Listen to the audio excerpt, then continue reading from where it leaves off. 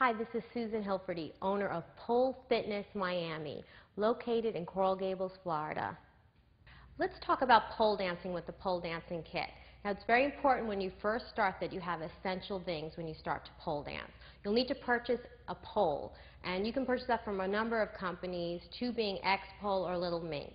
Then you'll have to purchase a good pair of shoes like I have on. One that actually has a good ankle strap on the back because I do like the shoes to fit like a glove, like a, a pointe shoe on a ballet dancer. It should be very, very secure. Also, you should invest in a pair of shorts that pole dancing shorts because once you start getting better on the pole, the pole doesn't actually understand clothing. And that's because you'll start to slip and it'll become very dangerous. So just a good sports bra and a pair of cute little pole dancing shirts, your shoes, and one of your pole dancing poles, and you're ready to go. This has been Susan Hilferty, and thank you for watching.